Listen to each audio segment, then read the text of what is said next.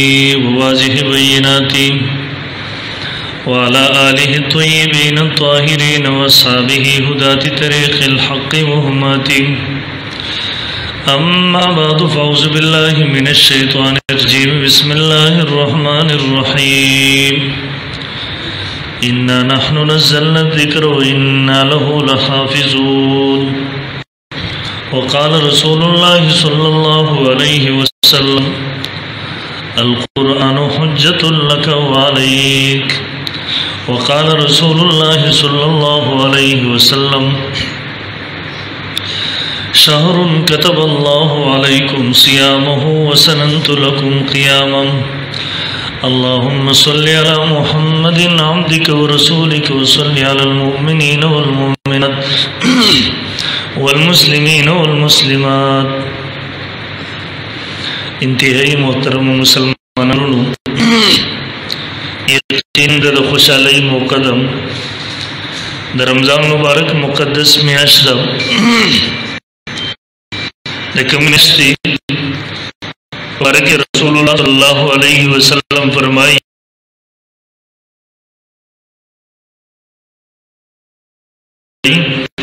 او یو نفل الله رب ذوالجلال په پرزو باندې قبلای به په دغه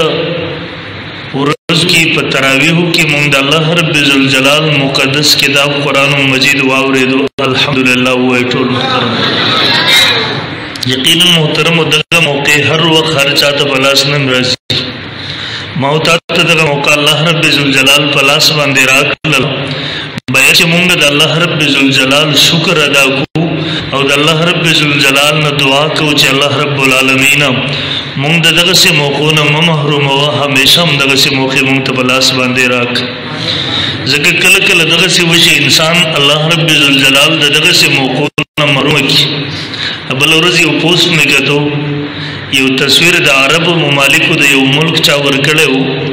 د دغه کرونا وایرس د وجې نه چې مساجد هلته مکمل تاله وو، جومات مسجد ته یې څوک نه پرېښودو، یو عربی راغلی دی، دروازې ته ولاړ دی، ژاړي، چغې وهي، وایي، الله! زه خپل کور کې لمونځ نه کوم، ستا کور ته راغلی یم، ستا کور بند دی، الله خپل کور کولاو که، زه دې ولې خپل کور کې رسېدو نه محرومه کړی؟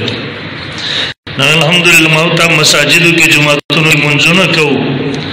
به په دغه د رمضان مبارک په موقع کې چې موږ ته ختم وکړو ما په دغه رمضان مبارک میاشت شروع شوله ما د خپل اکابرو حالات کاتم رمضان مبارک کې زمونږ د اکابرو زمونږ د مشایخ زمونږ د علماو معمولات سو شیخ الهند محمود الحسن رحمه الله چې د جنگ ازادۍ کې د مالټې جیل ته ورسېدو د مالټې په جیل کې دا دغه وخت ډېر سخت جیلو لکه نن سبا چې کیو باید سخت جیل د یخ علاقه ده مسلمانانو مجاهدینو ته قسمه قسمه تکلیفونه بکی ورکي ام هغه سي په هغه زمکه محترم او مالټي جیلو د کالا پانی جېلو شیخ الهند محمود حسن رحمه الله د خپلو شاګردانو پنځو کسانو سره د مالټې په جېل کې دی. شیخ الاسلام مولا حسین احمد مدني رحمه الله فرمایي، ویل اول کال چې کله روژه راغلله، ویل شیخ رحمه الله ډېر زیات پرېشانه و، په جېل کې انتهايي خپه و، هر وخت ژړاګانې یې کولې، ویل ما ورنه تپوس وکړو حضرت شیخ تاسو ولې پرېشانه یئ؟ د نور کله په نسبت باندې تاسو ډیر پریشان ګورم ډیر زیات خپم ګورم وجه صدا ولمات شیخ رحم الله راکو ولمات ول حسین احمد تر رمضان مبارک می عشره روانه ده مون سر پینځو کسانو کې څوک حافظ قران نشته دی د قران حافظ او قاری نشته دی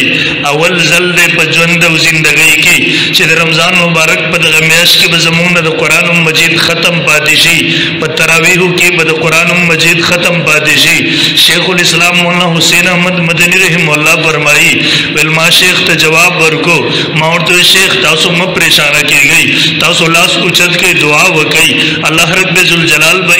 تنظیم برابر کړي ول کله چې رمضان مبارک روزه شروع شولا سحر نماز قران تلاوت به شروع کو ما به قران مجید گردان شروع کو ما به پس کول شروع کړلا ما خام بسو ماسخوتن به سو بېګا ته په تراویحو کي به په وباندي یو سپاره ما به د ورځي حفظ کړې وه بېګا ته به راپسې شیخ د شاګردانو سره ودرېدو ما به په تراویحو کي په وباندي یو سپاره واوروله دلته رمضان ختم سو هلته د قرآن مجید ختم خلاص سولو دلته رمضان ختم سو هلته ما د قرآن حفظ وکړو محترم هغه مالټې په جیل کې ورته جړا کوي دغه موقع په چارپریزه کې بلاس باندې راکړی دا مونږ دغه سي موقع ضایع کو قسم دې به بزموستان لوی بد نصیب خلق نه او دې محترمو نن د الله رب ذل جلال دام شکریا دا کو موتا ته د حافظان ملاویږي خاریان مخکې خلک کیسه کوي زمونږ علاقو کې یو حافظ سه وو اوس وفات شوی دی هغه حافظ صاحب ډېر تکړه قاري و پخوانی زه ورسره دغسې یو ځل ناست وم زما والد صاحب خوا ته به راتلو اوس وفات شوی دی دنیا نه تللی دی الله دې جنتونه نصیب کړي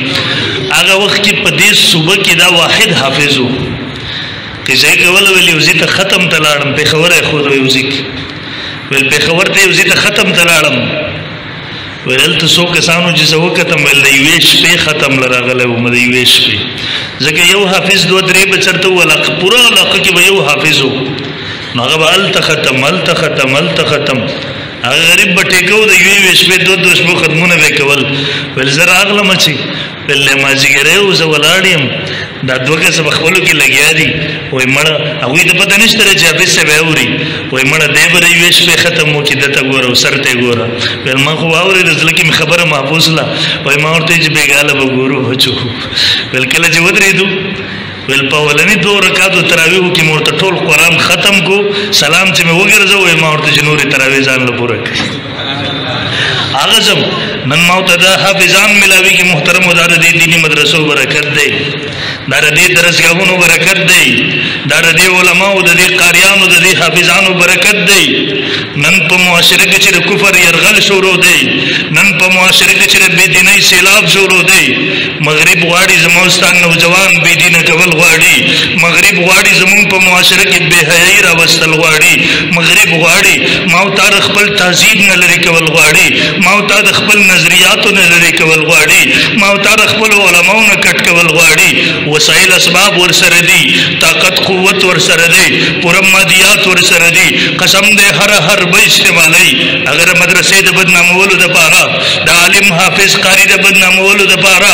هغه په هر طریقې سره لګیا دی چې مسلمان متنفر شي ته مسلمان ذهن دغه مدرسې نه ختم شي لیکن او محترم مسلمانانو نن ما او تا ورته کې نظر وکړو زه درته دعوت در کوم وګوره ورته نن نظر واچوا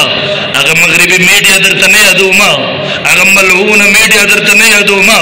د حقایق په بنیاد درته ویم ستا په لغه کې نن حافظ قران درته په چار پریزه کې ودرې دو دار دې مدرسې برکتو نن درته حافظ قران ملاويږي امام درته ملاويږي مفتی درته ملاويږي قاضي درته ملاويږي نن په معاشره کې تاسو الحمدلله د دین خدمتګاران د دین په هر مرحله باندې ملاويږي قسم دې دار دې دې مدرسې برکت دې محترم صرف ختمونه هم درته نه کوي نن په معاشره کې چې هغه په هر هغه په هرې طریقې سره لګیا دی زما اوستا معاشره کمزوري کوي عقیده نظریه هم تباه کوي بربادوي هغه حالاتو کې موږ ته وګوري مقابله کې دغه علما کرام ولاړ دي مقابله کې دغه دیندار خلک ولاړ دي مقابله کې دا الله والا ولاړ دي چې وسایل اسباب ورسره نشته دی طاقت قوت ورسره نشته دی وسایل اسباب ورسره نشته دی هغه څه قسم محترم وسایل او اسباب نه لري لیکن محترم ور تهذیبون هغه مقابله کې تاسو وګورئ ان شاء الله العزیز بیا تاسو ضمیر د دې خبرې گواہی ورکړي بیا تاسو دل او دماغ د دې خبرې گواہی ورکړي چې د حق او باطل په دغه معرکه کې د حق او باطل په دغه کشمکش کې الحمدلله فتح دغه درویشانو ده په هر محاذ باندې په هر میدان کې فتح دغه الله والو د شکست دغه کفر دی ان شاء الله نن کته ګوري زمون په خپل وطن کې خپل ملک کې نن قسم دې دې ټول زور چې ماتیږي زما ستاره حکمران هغه په مسجد او مدرسه باندې ماتیږي په مولا او طالب باندې ماتیږي والحمدلله مونږ هم پریشان نه یو او زموږ علما هم الحمدلله په دغه میدان کې نه دي رسته شوي د زموږ ست موجوده حکومت چل دنه لګیا دی د نوې گزار د رسول الله په ناموس باندې محمد پر عثمان ما برات دی اول را دلته نه میا تب کا دی نه راوستو دومره په اهم وخت باندې اسی عملونه رها کړ عبد الشکور قد نه رها کړلو هغه بل قد نه رها کړلو ګستاخ خل تورسه دوه غیتا اوس محترم هغه ډېر د پریشانۍ او د غم وخت و د عبدالشکور قادیاني ګستاخ رسول چې کله رها شولو دا لاړو دی ناست دی ټرمپ سره ټرمپ ته خپل مظلومیت ور بیانوي او ټرمپ نن ډېر په فاتحانه انداز سره ناست دی ولې د رسول الله ګستاخ رها کړی دی نن هغه ډېر په فاتحانه انداز سره ناسو هغه ورځ باندې ما چې کله دغه تصویر په فیسبوک باندې وکړو قسم دې رسول مې درد وکړو الله د بغیرته دغه ورځ به مونږ کته نن د رسول الله دشمن نن د مسلمانانو عالم اسلام عظیم دشمن هغه په فاتحانه انداز سره ناز دی ولې د رسول الله ګستاخ رها کړی دی نن هغه ورتل تر زیدل دی الله نن به رسول الله صلی الله علیه وسلم تم پرشتو خبر ورکړی وي نن به رسول الله صلی الله علیه وسلم تم پرشتو اطلاع ورکړی وي نن ستا یو لوی دشمن ستا ګستاخ پر هي باندې د پته نظام جوړي مسلمانان د غفلت شکار دي د رسول الله صلی الله علیه وسلم در دې دلوي هغه واقعیا مسلسل واقعات واقعات او زیدل تراوستله عقلیت حقوق ورته ورکې دا عقلیت نه دی دا خو هغه مل مرتدین دی یاد ساتي هر قادیانه دا کلمه ګوي د کلمې ویلو اسلام کې د داخلي دون پس مو د پسې دی وبوزي قادیانه کی او مسلمان چې کله کافر شي من بدل دینا فقتلوا چا چې دین بدل کو د سړی قتل کوي رسول الله صلی الله علیه وسلم اسلامي حکومت د اسلامي حاکم مسلمان حاکم باندې واجب دي چې دغه سړی قتل کې په معاشره کې دغه کینسر پرې نګدي او دا خو ګستاخان دی ګستاخان اوس دین نه وی دا وې سم مذهب نه وی ته په کم نوم بقلیت په نوم ځوانانو یقینا کته د هرې پارټۍ سره تعلق ساتي خو دین زمونږ او تاسو د ټولو مشترک دی دی که نه دی د رسول الله ناموس او عزت زمونږ او تاسو د ټولو مشترک دی دی که نه دی او مسلمانانو نوځوانانو ورزه خدا خبر عمومي کوم مسلمان کمزور کې دی شي مسلمان ګناګار کې دی شي مسلمان ګناګار مجھ کې دی شي لیکن د رسول الله د ناموس په حواله سره د کمزوري شکار کله نشي ګرځېدي هغه شرابي وو شراب یې څښلي وو، د شرابو جام چلېدو، د شرابو محفل و، دی د شرابو جام څښلی و، د شرشې په حالت کې و، یو عیسايي پسې پاڅېدو، ورته یې پلانکې د محمد په باره کې څه وې صلی الله علیه وسلم، د هغه خیال دا و، کېدای شي د نشې په حالت کې دی د نبي علیه السلام خلاف ژبه خولاو کړي، څه غلطه ژبه وخوځوي، توهین وکړي، بېادبي او ګستاخي وکړي، هغه شرابي پاڅېدو، یو څیز یې اوچت کړو، دای په دا سر باندې دغه عیسائی وویستو ورته وفرمایل ویل ها ها زه مجرم یم یما زه ها زه ګنهګار یم یما ها زه شرابي یم یما زه نشائی یم خو ظالم محمد رسول الله خو زمون اخرنۍ سهاره ده هغه اخرنۍ سهاره هم رانه غستل غواړي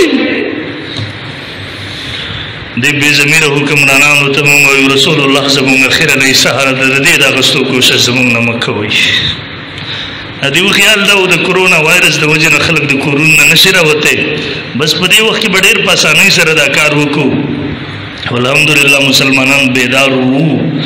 او دیو ته دغه خبرې سبق ورکو تاسو خدا سوچ کلم مکوي دلته ځوانان موجود دي چې د رسول الله صلی الله علیه وسلم د ناموس خبره راشي ته خو ډنډې وې، ته خو جیلونه وې، ته خو هتکړۍ وې، قسم دی بیا د چا د ګولو پروا هم نه کوي، بیا دا د ګولو مخې ته هم راځي. دیو ته هغه ورځې یادې دي، لږ د انیس سوه باون تحریک وګوره، لږ دغه نور تحریکات وګوره، په دې کې هغه ځوانان موجود دي، هغه وخت دو دپیکس او چوالي سه لګولې وه، کرپي وه. بهر څوک نه شو راوتی د ختم نبوت زنده باد په نارې باندې پابندي وه یو ځوان راووتلو د ختم نبوت زنده باد ناره لګی هلته هغه پولیس راځي او چوکۍ وهي دی بیا وایي ختم نبوت زنده باد هغه بیا یو چوکه وهي دی بیا وایي ختم نبوت زنده باد هغه اوچت کو هغه ګاډي ته ور واچوو په ګاډي کې د ټوپ بیا چغه کړله ختم نبوت زنده باد هلته یې د ټوپک په دغه کونډاغ باندې پر سر وهو سره وینې شو بیا وی ختم نبوت زنده باد الته پوجي عدالت تراوستو کله چې هغه پوجي جج ته مخامخ کو دغه مخې تم دی یو ناره ولګول ختم نبوت زنده باد هغه چې واورې دل غوسه شو ول 1 سال قید سزا دی بیا وی ختم نبوت زنده باد هغه وی 2 سال قید سزا دی هغه بیا وی ختم نبوت زنده باد دلته سزا زیاتېږي التر ختم نبوت زنده باد ناره لګيږي سزا 20 سال ته ورسېدا دی بیا وی ختم نبوت قوت زندہ باد هغه جج وای اوسه باهر لې ځا کر به ګولې مار دی جاي اوسه بهر وباسي په ګولې باندې ولې هغه بیا په یو قسم مستۍ کې شو مسلسل مستانوار نعرے لگائے ختم نبوت زندہ باد ختم نبوت زندہ باد اگر جج شکوری اگر یہ تو پاگل ہے یہ تو مجنون ہے اسے رہا کر دیا جائے اسے چھوڑ دیا جائے دیکھو پاگل دے پریگ دے اگر ازل بیان آنے لگے ختم نبوت بود زندہ باد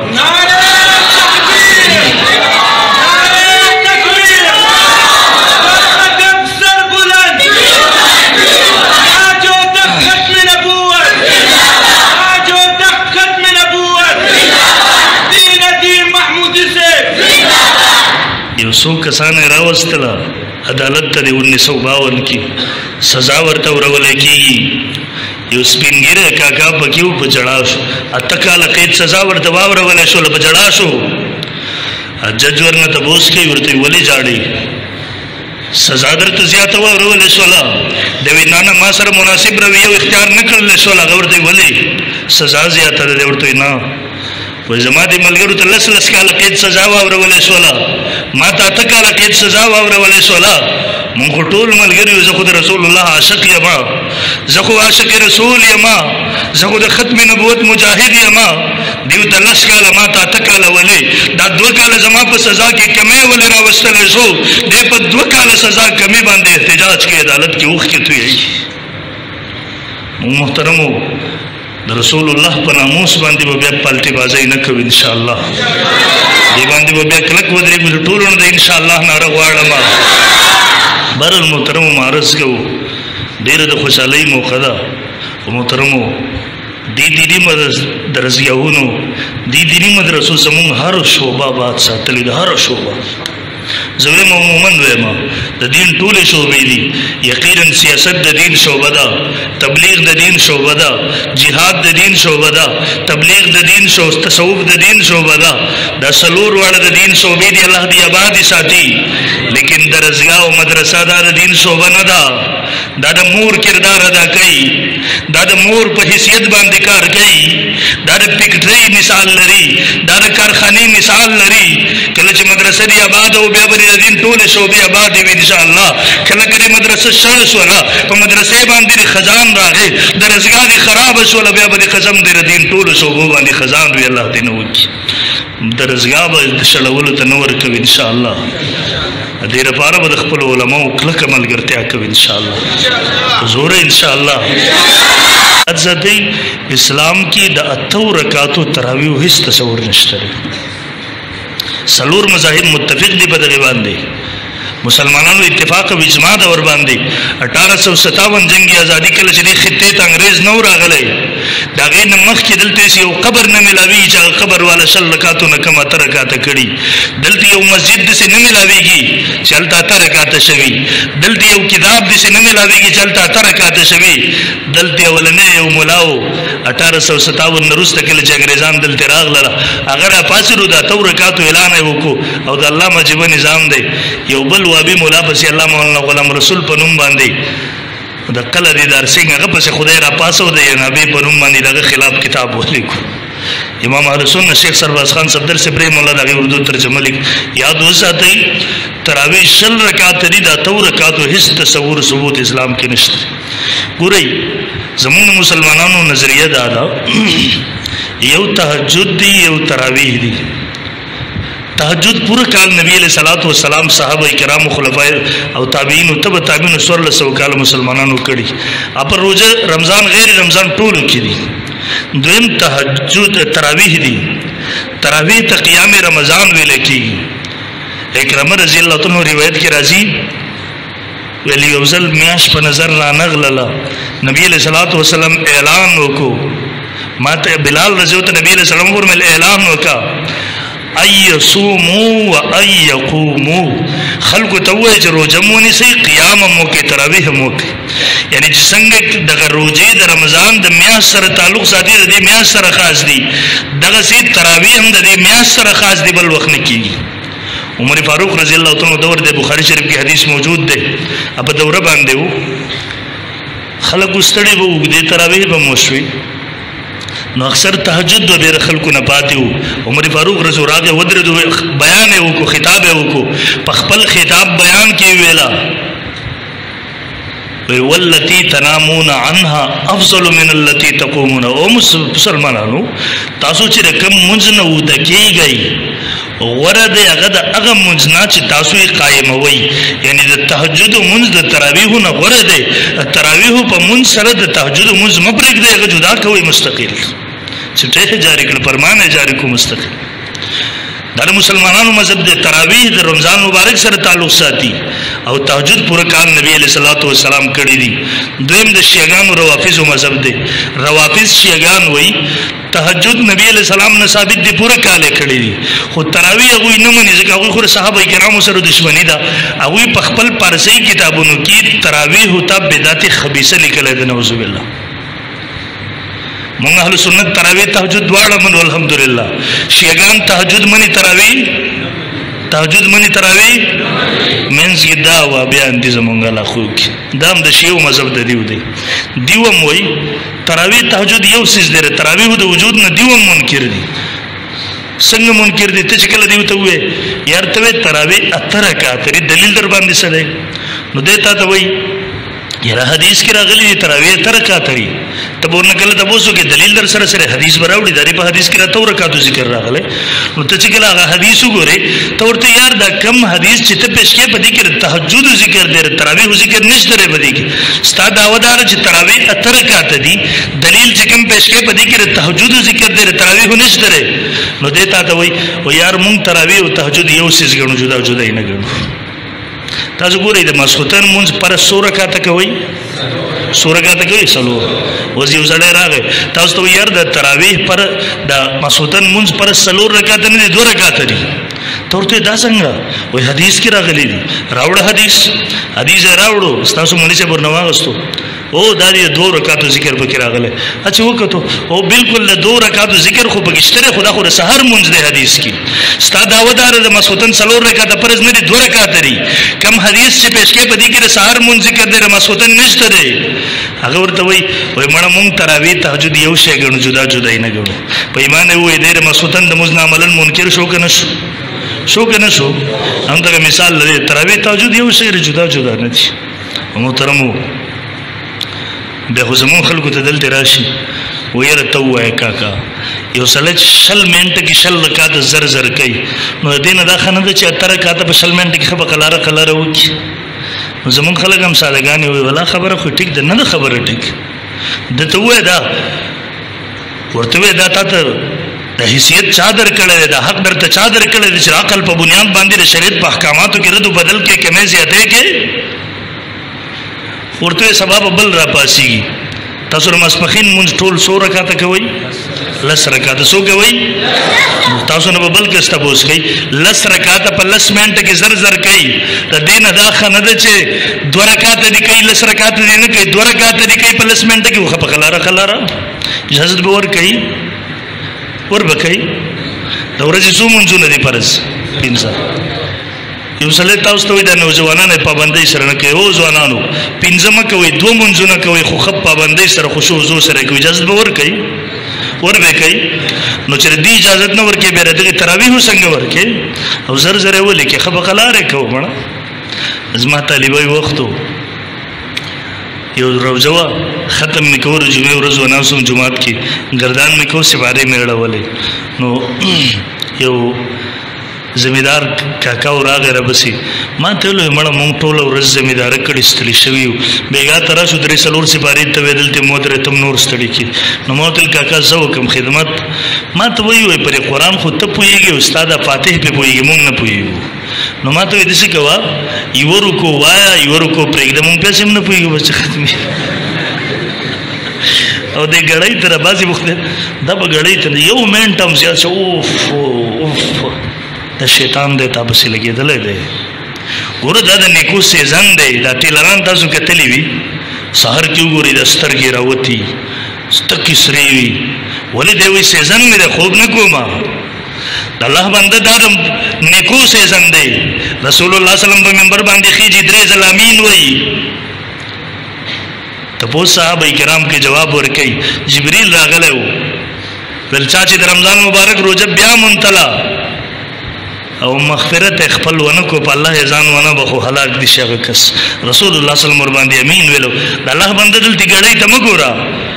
استاد ته وای په نیمه ګنټه کې کېږي په ګنټه کې وکه خپ کلارې وکا دا خو د نیکو ګټلو سیزن دی دغه سیمه کوه به پلان کوچ مولا پسې ګرځي زمون په وخت کې بخل کوي چې چا به تیزی کول دا پلان کوچ مولا دی اوس خو پکې راکټ مولا پلان کوچ پر خپ کلارت دا چې ته زر زر کوم منځ وکې کنه دا مونز د سخا چرلۍ په شکل د برزي د اسمان دروازې ورته نه کولاويږي واپس راشي سخا چرلۍ په شکل کې راغونډ شي د د مخ به وشتل شي ورته خیره کوي الله دې دې هلاک او برباد که څنګه چې زه هلاک او برباد کړم خپ کلاره نو ان شاء الله لذي شل رکعات به پوره کو دلایل زمون سره مخ کې ګال زمون مناظره په دې 285 215 اتیا روایت په مور جمع کړو شل رکعاتو باندې او دیو نه موږ مطالبه کړې و موږ ورته زموږ ملګرو د واته لسو کالو نه دیو ته چیلنج ورکړ ویل یو روایت وخه د افغانستان د تل او مخکې کالونو کې نیوزي کې د مجاهدینو علاقه افغانستان مجاهدینو نو دیو سره بیا زما شپم و ملګری و مونږه نو دیو مونږ سره ناسو هغه کوم چې ردیو مشر او د دارلوم حقانی فارغ او صدیق الله مولوی صاحب زما په خیال نومو د ما سره کېناستو نو الته په دغه کې ما خبره دوهرا وکړه ما وی کې چاته به یو روایت پتر کا د تراویح معلوم وي مونږ ترې وخی چې لفظ د تراویح پکې د رمضان ذکر پکې د تو رکعات ذکر پکې رسول الله صلی الله علیه وسلم قول فعل تقریر کې نه د خلیفہ راشد دی وخی کړه غم نه د صحابي دی وخی کړه غم نه د تابعی تبع تابعی دی وخی خو ما ورته ویل که څوک دغه یو روایت خو دی چې دا درې الفاظ پکې زمونږ نېټورک نوجوانان احناف مونږ ورته اعلان کړو یو زیرو میټر هلیکاپټر او پچاس لاک ریال انعام درته درکو نو ما سره هغه چې کوم د دیو مشرو ما ته وی ځان لره سره به ما سودنی کې ملاو شو ما ته وی که دا روایت وخی دوی به د هلیکاپټر د کوم ځای نه ورکو نو ما ورسره بیا ګپ ولګو ما ورته مړه در سلور واړه مذاهب او اتفاقی مسله ده کېره ته وخودو خو مونږ ټول بور له چاندو کو دو دو روپۍ چاند چولو یو نه مړه درې هلیکاپټرې بور لوال او بیا ورته ما ویل ګوره زمون طالبان سره دی پویږي مونږ دا تراویح لفظ نه دی تراویح دا جمع د ترویحتون ده ترویحه هغه ارام ته ویل کی سلور رکعاتو نه پس کیږي یعنی سلور رکعاتو ته یو ترویه ویل کی سلور رکعاتو ته یو ترویه او مونږ وایو د جمع کم از کم مقدار درې دی د درې نه کم ته جمع نه ویل کیږي کم از کم اقل مقدار د جمع د درې دی نو درې ترویه تین چارې سو شو وای کنه تین چارې یعنی د دولسو نه کم ته په عربی جبه کې بالکل تراویح نه ویل کیږي نو ما خپل څو په دې بنیاد باندې خبره کوم زده کې دې نشي لمز د تراوی دې دی وخی اره تهجد والا روایت بتا تخی ته دوه خبرو ډیر خیال وساتئ یو ګره سار نه بروجه ونیسي دا مستند نقشې ځان ته پیدا کړي د پېښور کې ته مستند نقشې شتره خپل علماو سره به تو کې په هغه دي کې ګوره د افطاری د پاره روزه ماتولو د پاره او د پښمنی روزه بندولو د پاره اذان نه دی ضروری نقشه وګوره د نقشې په ټیم باندې روزه ماته کا د نقشې په ټیم باندې روزه بند کا وسته ټول ورځ بزان لوګه تند تیر کې بیګا ته ټیم داخل شوی نه لس پنځل لس منټ پاتې اغه زګینه بو ابي په جوړ فکر کې الله اکبر الله اکبر تاسو روزه در خراب کی خپل زنانم په دې مسله پوها کوي که په دغه اذان باندې تاسو روزه ما تکړه بیٹه ما اذان باندې روزه دي خطا شو روزه دي خراب شو دې روزه به قضا راوړي ان شاء الله کو به تراوی شل رکعات به کو ان شاء الله سو به کو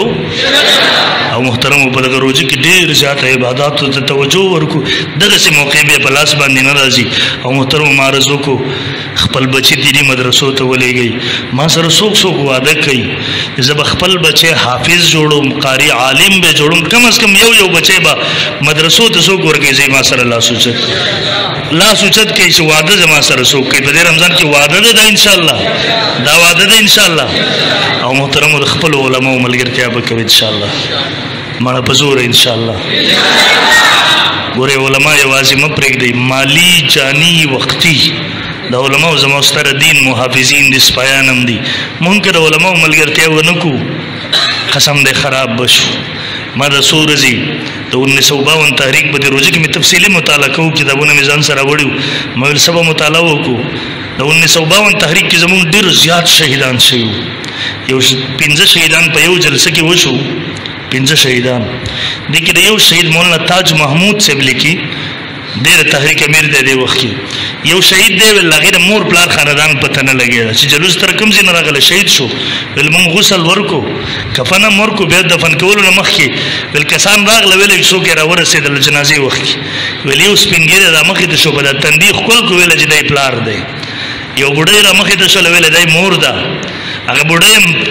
نقاب اچولی دی، برقع یې اچولې ده، رامخکې شوله، هغې په تندي باندې ښکل کړو، ویل دا یې مور ده، بېهوشه وغورځېده،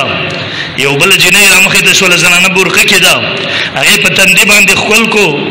ویل دا یې ښځه ده، څو میاشتې شوې وو، واده یې شوی و، مسلسل په دغه جلسو کې شهیدان، لوی لوی علما په جېلونو کې وو، لوی لوی علما. قسمه قسمه سزاګانې ورته ورکولې عقوبتونه لیکن که تاسو وګورئ انیس سوه باون تحریک د دومره لوی شهیدانو سره د دومره لوی قربانیانو سره تغیب باوجود هغه مسله حل نشوله ژوندي ژوندي انسانان کالجان نوجوانان پکې وسوځول سپینګری پکې شهیدان سو ځوانان پکې شهیدان سو لیکن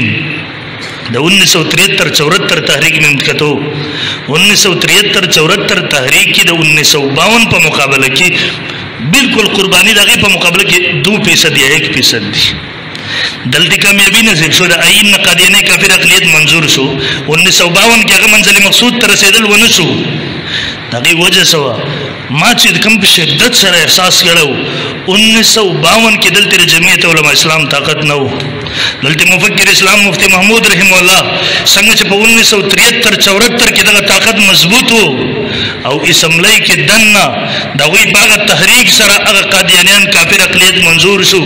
او نن مخ په وخت مسلې دینی راځي زمونږ د علما ورته ولاړ دي نو محترم مونږ به علما نه پرېږدو ان شاء الله دینی مسله چې کلم را لګا به دغه علما ملګرتیا کوي ان شاء الله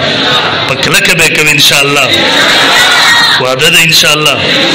نور دلته هم یو کال سره پاسه تیر کړه د نو تاسو ټول ما هم پیژنې زم پیژنې تاسو ټول ډېر نیکان خلک الله